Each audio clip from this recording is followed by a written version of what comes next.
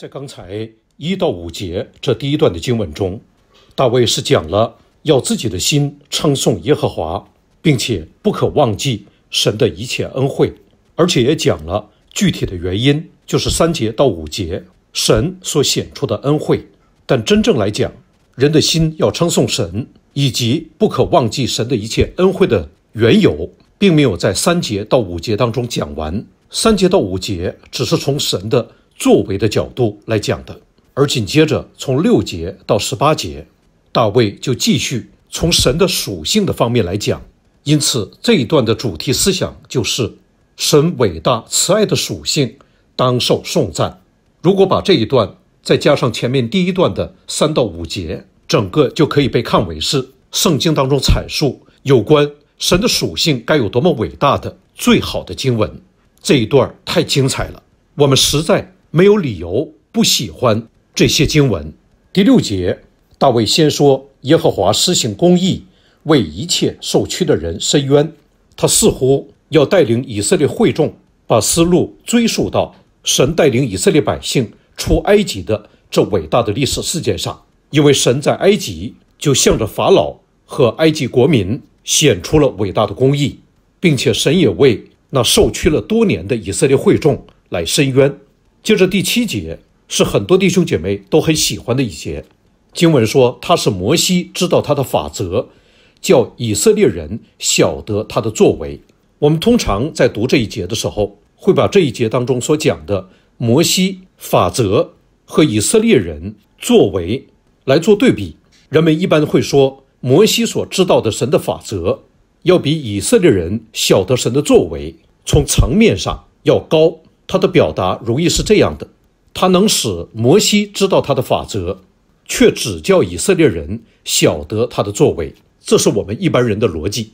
但是从诗歌的平行体的角度，其实原本作者并无意一定要拉开摩西和以色列人之间的距离。摩西所知道的神的法则和以色列人所晓得的神的作为，同样或同等的重要。知道法则是重要的。其实小的作为也很重要，在诗篇第九十篇第十六节，摩西就曾经祷告过：“愿你的作为向仆人显现。”以色列会众能晓得神的作为，是因为神先将自己的作为显现给他们，所以这是一个好的形容，并不是在责备以色列人的不足。接着从第八节开始，神的属性就在大卫的诗句当中被十分美好和全面的。加以描述。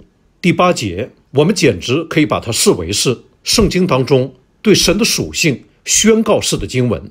这节经文的表述在旧约圣经当中多次的出现，大家可以去看，像出埃及记三十四章六到七节，民数记十四章第十八节，生命记五章十节，尼西米记九章十七节，诗篇八十六篇第十五节。耶利米书三十二章第十八节，八节九节就像是古代人们所做的信仰的宣告一样。古人所认识的神，就是有怜悯、有恩典，不轻易发怒，且有丰盛的慈爱。他不长久责备，也不永远怀怒。那这样的经文，美善的无比，简直都不必加以解释。第十节更告诉我们。我们伟大的神虽然是公义的，但其实他更按照他怜悯和爱的属性来待我们。因为他若是以严厉和公义来待我们，我们就没有谁能够在他面前站立得住。因此，这里的经文说，他没有按我们的罪过待我们，也没有照我们的罪孽报应我们。接下去，从十一节往后，大卫在描述神和描述人的时候。就做了一系列的相应的比喻，像十一节，当他论到神的慈爱，像敬畏他的人是何等的大，他就说这何等大的地步，就像天离地之间有何等的高，天和地之间的高度在古代是无法丈量的，这是在表明神慈爱的无限，神的慈爱是要给敬畏神的人。而十二节，大卫在讲神有一样伟大的作为。是能叫我们的过犯离我们很遥远、很遥远，就像东离西那么的远。当我们看到这节经文，我们就不自觉地会想起古代以色列人的赎罪日。当大祭司亚伦从至圣所出来以后，他会按手在一只公山羊的头上，并且认以色列家所有的罪。然后人们会将这公山羊带到旷野当中，归于阿撒谢勒。圣经的经文说，要把这羊放在旷野，这羊要担当他们一切的罪孽，带到无人之地。大家可以看利未记十六章，尤其是二十二节。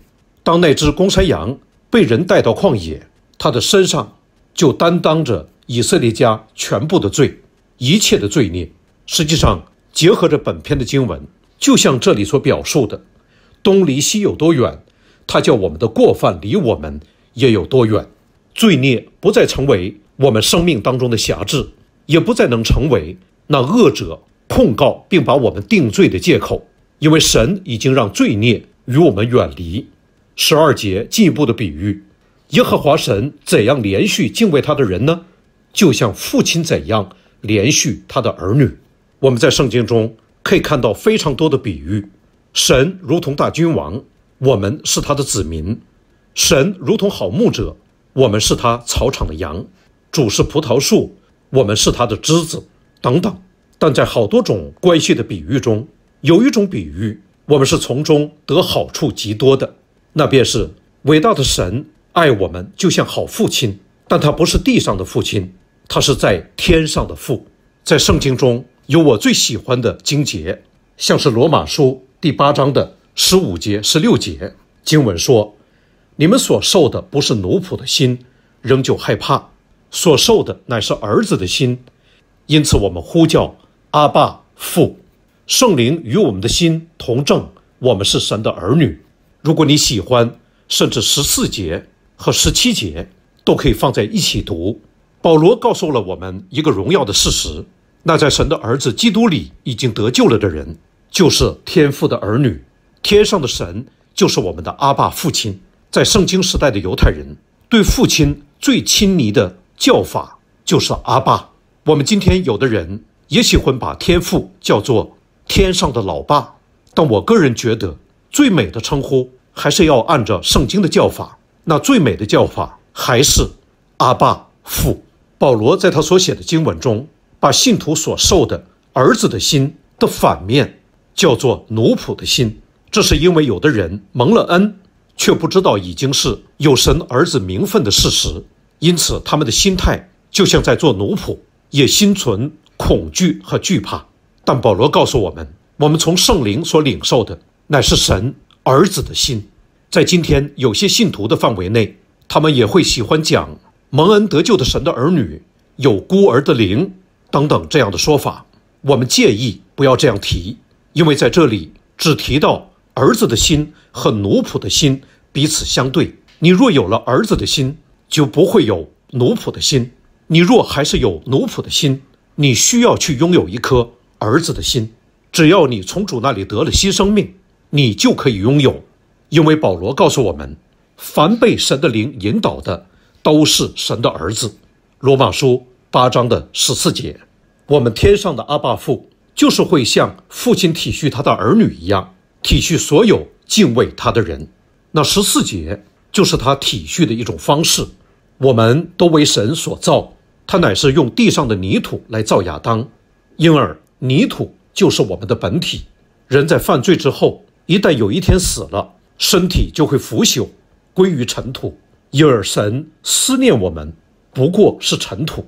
十五节、十六节所讲的，乃是那不敬畏神的世人，他们活在虚空和扑风之中，因为他们的年日如草一样，虽然也发旺，但却不过如野地里的花，转眼之间荣华消逝，不被纪念。可惜的是，世人虽然伏在。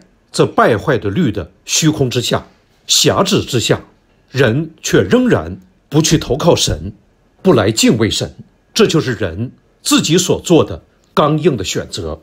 而十七节、十八节就告诉我们，神那里是有恩典和慈爱的，他预备了他的慈爱，是要让他的慈爱归于敬畏他的人，而且是从亘古到永远，他的公义也归于子子孙孙。在前面的诗篇当中。好多的经文都提到神是如何以慈爱恩惠来待敬畏他的人。那其中像一百零二篇二十八节，诗人也相信你仆人的子孙要长存，他们的后裔要坚立在你面前。一个真正爱神的人都会特别看重自己的后裔，也就是子子孙孙的蒙福的需要。大卫也是，别忘了圣经当中的应许，在生命记第五章第十节，神就说过：“爱我、守我诫命的，我必向他们发慈爱。”直到千代，十八节是进一步的告诉我们，那敬畏神的人具体该怎么敬畏？那便是要在两个方面有所实行：一就是遵守他的约；二纪念他的训词而遵行。这样的人就是敬畏耶和华的人。最后是十九节到二十二节这一段是本篇的结束。诗人在对神的敬拜和爱慕中。以极其荣美的心情宣告耶和华神在天上立定宝座，他的权柄统管万有。接着二十节、二十一节，大卫就提到那听从他命令、成全他旨意、有大能的天使，都要称颂耶和华；做他诸君、做他仆役、行他所喜悦的，都要称颂耶和华。这其实都是在指那在天上的侍奉者、天使和天君。还不仅如此，二十二节还包括了你们一切被他造的，在他所治理的各处，都要称颂耶和华。由于伟大的神的荣耀主权是充满他所造的穹苍和宇宙以及全地的每一个角落，因而那在每一个角落的被神所造之物，就理应当称颂耶和华，向神欢呼。本篇是最妙的，是它的结尾。大卫说：“我的心呐。”你要称颂耶和华这一短句，不单单于第一节、第二节彼此呼应起来了。其实他还告诉我们一点：既然天上的天使、天君以及一切被造的，在神所治理的各处都要称颂耶和华，然后再加上作者自己，尤其是从他生命的最深处，也就是心，也要称颂耶和华。那本篇诗给我们展开的一个局面和事实就是。宇宙万有之间，在神以外，已经没有什么不要或不在称颂耶和华了。而那称颂耶和华的万事万物中，别的都重要，有一样至关重要，那就是我的心。我们再说，我的心呐，你要称颂耶和华。感谢主。那今天诗篇一百零三篇，我们就讲到这里。我们再说这篇诗太美了，我们大家一定。不要轻易的就这样读过去了，一定要好好思想它，默念它，让我们的心和我们的灵能与大卫所写的诗篇中所运行的启示的灵能够彼此相遇，我们就必会多多的被圣灵所开启。他一定借着这篇诗篇向我们很多的人讲话。神的话是宝贝的，是甘美的。愿我们大家都得到神借着他自己的话语所赐给我们的。生命的美物，来让我们低头祷告。亲爱的天父，爱我的主耶稣，天天引导我的圣灵保惠师，我感谢赞美你。主，谢谢你今天将诗篇一百零三篇给我。主啊，这篇诗太美丽了，我是那么的有福，可以被浸泡在你圣灵和话语里头，并且也可以活在你启示的光中。主，我真愿意像诗歌里面所说的，我又能像摩西那样知道你的法则，又可以像当时的以色列人那样。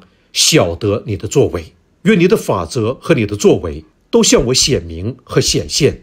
主在这篇诗当中，大卫赞美称颂了你伟大慈爱的属性。你是那么的有爱，而你那神圣、充满恩典的慈爱，乃是我不配得的。